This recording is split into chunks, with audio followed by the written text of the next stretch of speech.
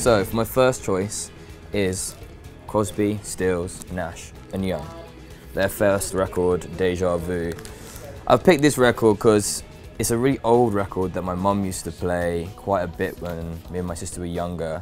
Everyone in the band was a writer beforehand, was a strong songwriter beforehand. And this is obviously them all coming together and pooling all their all their like influences and experiences and talents.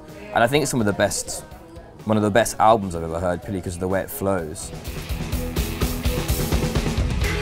So this is the psychedelic sounds of the 13th floor elevators. Um, and it's basically the kind of project of Roky Erickson. They were famous for really pioneering acid into their music. And they also had a geezer who just played a, like a blow jug, which is, you know, every band needs that. Number two is probably a slightly more obvious choice purely because it's probably in everyone's top 10 favourite records ever if you're like a musician or have a, any inkling into liking music in general is Jeff Buckley Grace which uh, you know is his only-ish album if you're not including like the B-sides and rarities and everything that gets unearthed after he passed away. It's also one of the rare records I think all four of us genuinely all really like.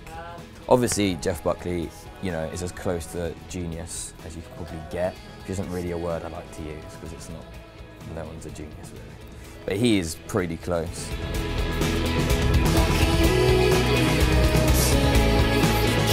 So this is McCartney 2, um, obviously second McCartney record. It's got two of the most amazing songs in the world.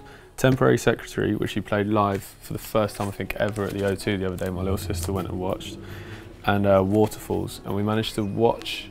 We were, we were listening to it, we were listening to the song Waterfalls by Niagara Falls while Niagara Falls was frozen over on our like one of our first American tours the other day.